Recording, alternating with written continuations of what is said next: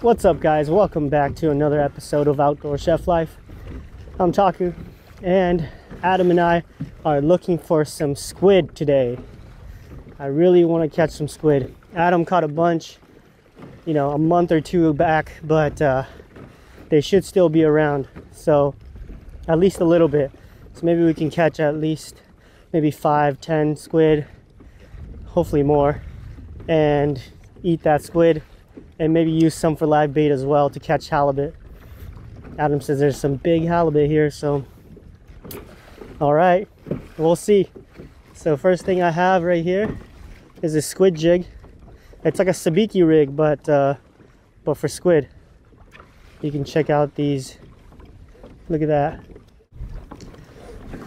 Has a little kind of glow in the dark kind of ball on them, and then all the hooks face upwards. They're barbless and that's kind of what the squid jigs look like. Well, actually, I've never had the fresh caught squid out of here, out of like Northern California. Uh, these ones we're going after today are the small market squid. If everything goes according to plan, I'm gonna do sashimi right here on the kayak.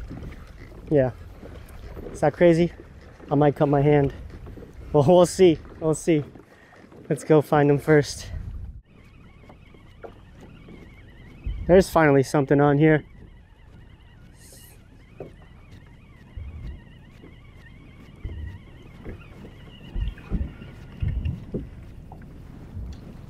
I got one. Yeah, I got one. Adam, I got one. Nice. Heck yeah, my first squid. Little guy. Heck yeah, that means they're here. Yes. All right, let me drop back down. Finally got one. I'm gonna keep him alive. I have this right here. Crawfish trap. Since I have a zipper here, I could probably tie off both ends and then just uh, throw them in from the top. All right, let's catch more. I need more. Well, it wasn't looking so good, but finally, after about an hour, I got one. I really want to know how that fresh squid tastes. Just right out of the water sashimi, but I also need bait. And I only have one. My only solution is to catch more. But man, it's been like an hour and a half maybe. And I caught one a couple months ago. They were loaded, but not anymore. I'm kind of too late. These squid, they don't fight much, so you don't really feel any shakes or anything. They just feels like dead weight. And I'm just sending it all the way down to the bottom and once it's at the bottom like that roll up just a little bit and then I'm just jigging up and down slowly. And whenever I feel some weight on there and I try to reel up. Just got another one. Oh came off. It's right here. Got another one. I, I think I found a school right here Yes, hopefully this is a school right here. I can see these. You can see that right there, right? You can see the fish finder there. Bunch of little dots. I think that's the squid. All right, I'm gonna try for two more minutes. And if I don't get anything, I'm gonna eat one of these squid that I have. I only have two, but I'm gonna eat one of them and then start trolling for halibut with the other one. I just wanna taste, you know, just wanna get a little taste what it is. Oh, here we go. Oh, I think I might have one. Yes, yes, yes. Yeah. Oh, oh, jeez. Biggest one yet. Yeah. My biggest one yet. Look at that. Ah! Oh, I inked my hand. Dude, what? Look at that. That's a nice one. That's a really nice one. Oh, perfect eating here. Yeah, I uh, got in a good school of mackerel here. Oh, nice. All right, I'm I'm down for mac. I'm down for mackerel. I just got one more squid here, but I'll, I'll head your way because I'm kind of down for mackerel too. All right, well Adam got some mackerel up there, and I know you guys been wanting to see a mackerel catch and cook, so I think I'm gonna head up there where Adam is. All right, gonna switch it up and go for mackerel. So I recently got this little pouch right here. Keeps all your uh, all your rigs nice and organized. See? Rigs ready to go. Let me put on this sabiki rig. I have one right here, ready to go. All right, sabiki on. A little fuzzy thing came off the mic, so it might be a little windy. You know what, guys? I'm really hungry, so I'm actually gonna eat a squid right now. Eat at least just one of them. I think I'm gonna eat the big one. I'm gonna eat them real fresh. I'm gonna just cut them up, a little bit of soy sauce, boom, just like that. Live squid, beautiful. Here we go. Sorry, buddy. Boom, cut them off right there.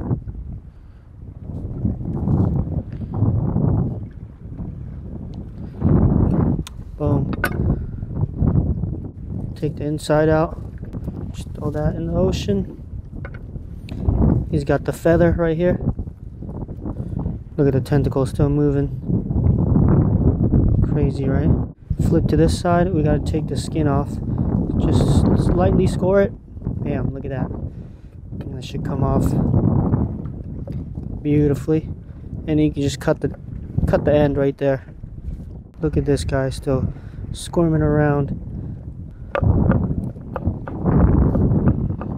Have to take the beak out. Has the beak right there, that's the teeth. And the rest is all edible. Just gonna cut it, cut uh, a few of the tentacles off. Right there. Slice that part. Oh yes, and I brought my plate. All right, let's try this. Fresh squid, I don't have my chopsticks, but here it is. I'm just gonna try it by itself. Just got three more. Adam's catching a lot of mackerel right now. Mmm. Whoa, whoa. Oh, whoa, that's good. Oh, I love squid.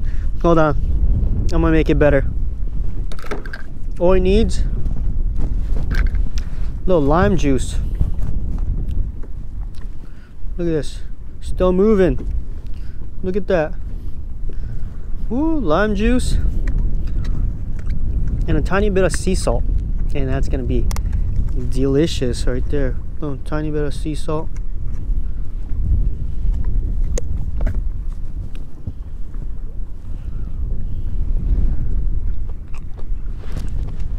Mmm.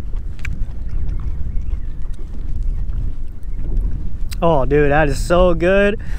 Fresh squid, practically alive. Practically live squid. All right, I'm gonna put a little soy sauce in here. Dunk it in a little soy sauce. Look at that. Oh.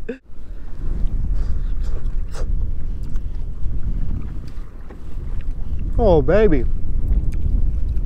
Oh, that is so fresh. Jeez, that is delicious. Look at that. Mmm. Mmm, mmm, mmm. Mmm. Texture is amazing. I can eat so much of this. Yeah, I really want to do. Oh, I got a fish. I got a fish.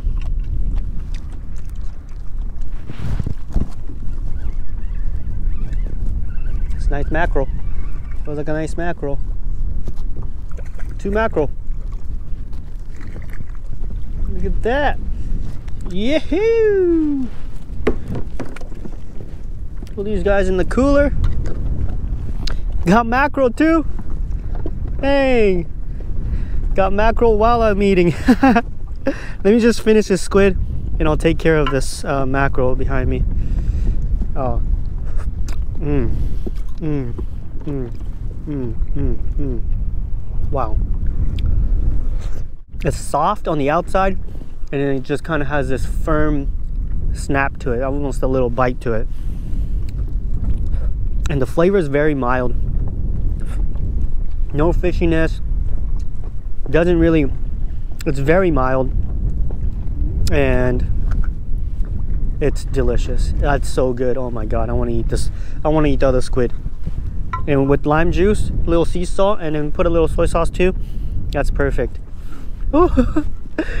oh i want more squid i wish i caught more squid i have two more should i eat them right now or should i use them for bait catch halibut hmm. Hmm. well i got a couple mackerel too so let me take care of the mackerel really quick oh i got another one right away right away oh that's a jack smelt gosh darn it Whoa, look at that. Oh my god, my sabiki is full. And these are tiny. Why are these so small? tiny mackerel. These are good bait. Huh, this would be perfect for bait. That squid is so good. Since I have two more, I'm gonna eat one more and then just use one for bait.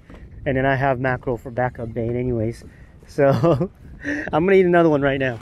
Squid time. There you go, I'm just going right there. Cut down, boom. And it's pretty much done there. Open them up.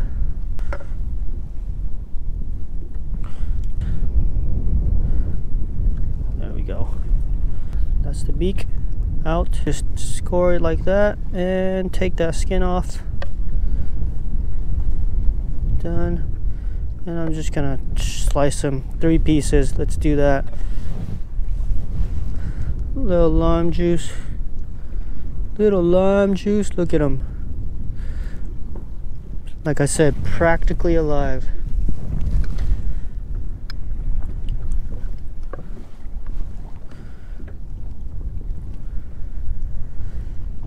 cheers guys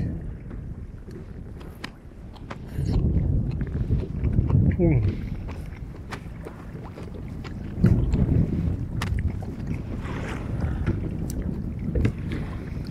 Wow, that is so good. Oh, oh I love squid. Mmm. Mmm.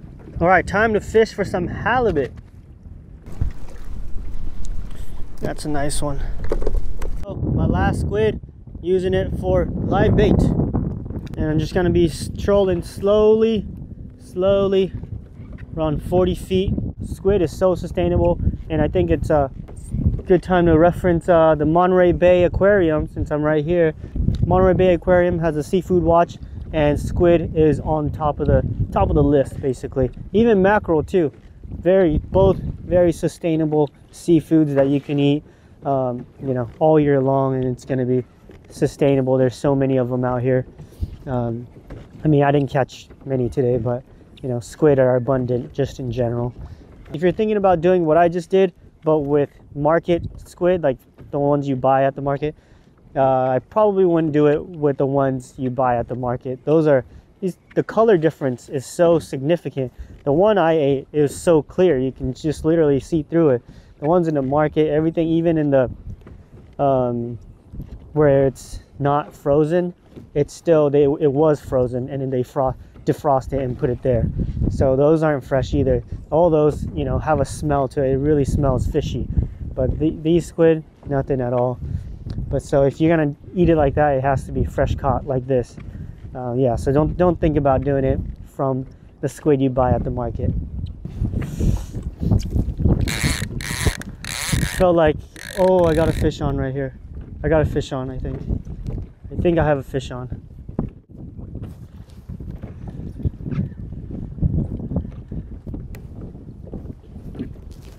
Got a halibut, little one. Tiny guy. Oh no, my squid! That's the best bait out here. Damn, I lost it. Lost the squid. Pretty little halibut.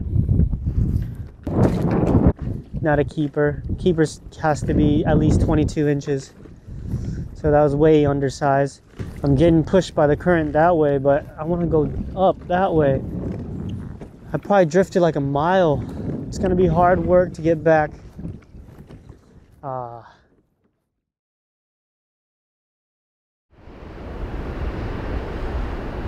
All right, now that we have these beautiful mackerel straight from the ocean, I wanna show you guys how we prepare mackerel when we make sushi. I'm gonna show you this traditional method of preparing saba for sushi. Saba is mackerel in Japanese, okay? So let's get started. First, we're gonna fillet these just like any other fish, all right? And mackerel is one of the easiest fish to fillet in my opinion. So if you're just getting into filleting fish, you can start with mackerel. It's a really good place to start it's uh, really easy and forgiving, okay? So I'll show you how to do that. We're gonna first take the head off. So right behind the fin, towards the head, just chop down. The other side, same thing. That's the head. And we're gonna fillet this like almost any other fish, all right? Turn it around.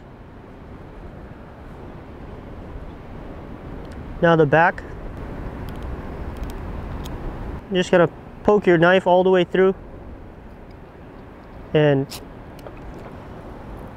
all right there you go now you have that beautiful fillet there gonna do the other side as well flip it over we're gonna do back side and this side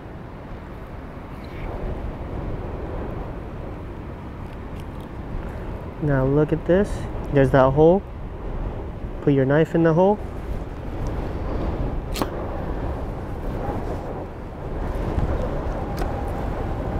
Just like that. Show you a real fast, a faster way to do it too. So same thing, take the head off.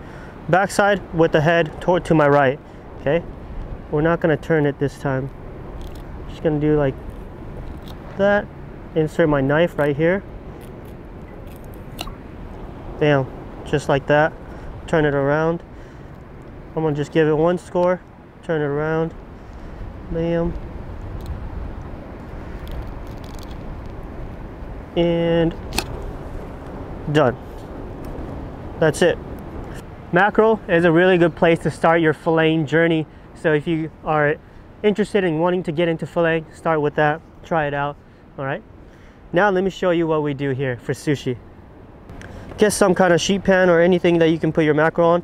First we're gonna salt it. So heavy amount of salt. And we're just gonna place these fillets down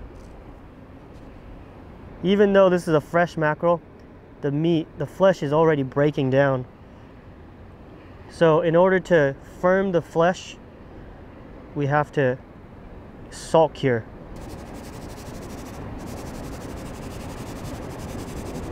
And I have one more piece, so I'm gonna do this as well.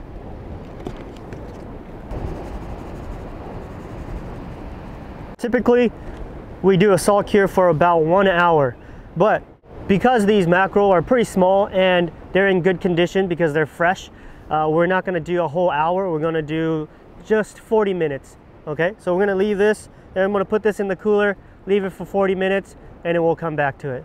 So one thing I've been meaning to talk about is the cutting board that I use. Uh, some of you have been asking about it. So this is the type of cutting board you see in most sushi restaurants. It's high quality synthetic material and it's uh, really, really good for your knives and you can clean it easily. No warpage, you know, it doesn't bend at all when you, when you wash it with hot water uh, and it's pretty heavy as well. So I'll leave a link in the description if you guys, you know, want to get one of these, but yeah, it's uh, this one I believe is $160 and this is the extra large size uh, for the link that I have. So it's about 23 inches, I believe. To really make a difference for your knives. Uh, and just the surface that you cut on, just prep, prepping veg and everything, it's just so much, it feels, feels good to cut on. All right, now it's been 40 minutes and uh, we have the mackerel here, so it's ready to go. This should be pretty firm. You can see the skin kind of you know, wrinkled up a little. Um, yeah, I think that should be enough time. We're gonna wash all the salt off and we'll go from there. Next step for making mackerel sushi is we have to do a vinegar cure. All right, so first salt cure, then vinegar cure. Normally do about 25 minutes of vinegar. And uh, since this mackerel is small, I'm just gonna go 15 minutes. I just have regular rice vinegar and we're gonna use this container and uh, put it all in here.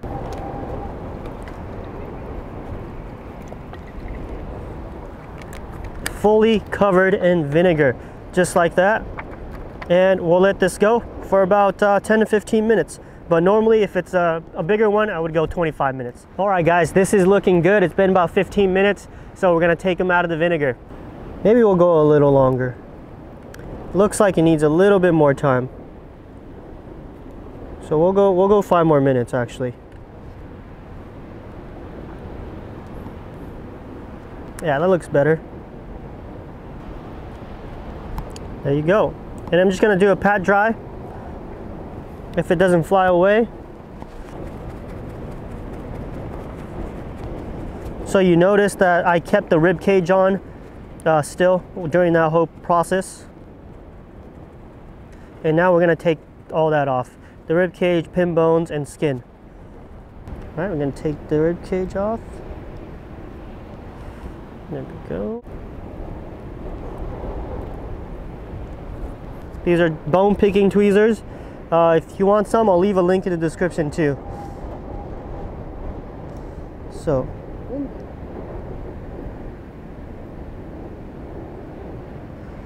And it should be fairly easy to take the pin bones out of this fish. Now, gotta take the skin off. So in order to do the skin, so you can start with these tweezers again lift the skin a bit, you can literally just peel it off with your hand. Another way you can do it is you put it down, use the back of your knife and run the back of your knife down the, down the skin and it comes right off as well. So if I cut straight like this, it's gonna be too small. So I have to angle it to be right there. And that's that's perfect size for nigiri.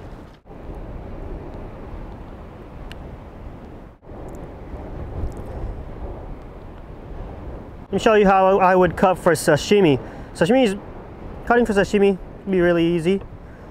Um, so I'm just gonna make a couple scoring score cuts, maybe three. Score along the fish. And all I'm to do is cut straight down. Right here. Bam. Bam. Bam. Little pieces. Very nice and oily fish. With the skin up, or you can go skin down as well. Just like we did the nigiri pieces. We're to cut it thinner though. Thinner than nigiri. And then we can fold it over. Just like this.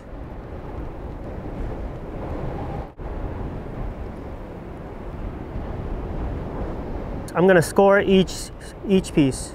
Typically, yeah, for saba, down the middle, just one time is actually really nice.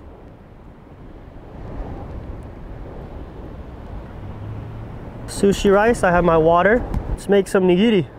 All right, if you wanna uh, learn how to make nigiri, I have a little sushi course on how to make nigiri, so check that video out if you want a very thorough, in-depth how-to.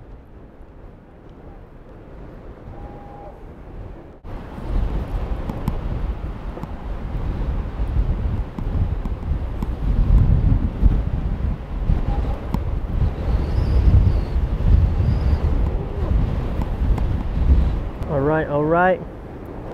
We're gonna plate this, plate it up. Let's throw these guys in the back, these guys in the front. Put a little side of wasabi right here. Traditionally for these silver skin fish like mackerel, like the stronger flavor ones, we generally use uh, grated ginger and green onion. Oh man, it's so windy but like this. Bam. All right guys we're done. Here's the plate of my mackerel sushi. So these ones here have the grated ginger and uh, scallions. These ones have the chopped wasabi and we have some sashimi on the side as well. Um, I forgot to bring soy sauce but you know what? This is actually good by itself like this. All right so let's eat it. That's nice huh mackerel sushi. Mmm. Mmm. Mmm. That's it. Mmm. Mmm. Mmm. That's my first time having mackerel in a long time. I actually haven't had saba in a while. Yeah, that's good. That grated ginger kicks through that strong flavor, oily flavor of the mackerel perfectly.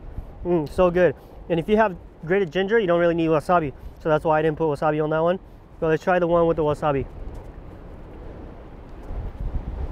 Mmm. Mmm. Mmm. Mmm. Yeah, Jocelyn's not a fan of mackerel. She just ate one, but she said it's it's fine, but uh, there's still a faint kind of. It's a strong flavored fish, you know. Traditionally, mackerel was the one of the main fish that was served in sushi. It's good. Has a nice oiliness. I wouldn't say it's fishy. I don't know. Some people say it's fishy, but I wouldn't call it fishy. It just uh, has a little more flavor. You know, has a depth of flavor. Um, let me try my sashimi. Mm. Delicious. I love the nigiri. Mm. Mm. I think I like it with ginger and scallions more. That's my lunch.